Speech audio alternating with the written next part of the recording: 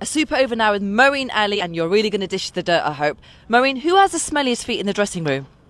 A few of the bowlers, but I would say Adil Rashid definitely. And who takes the most selfies?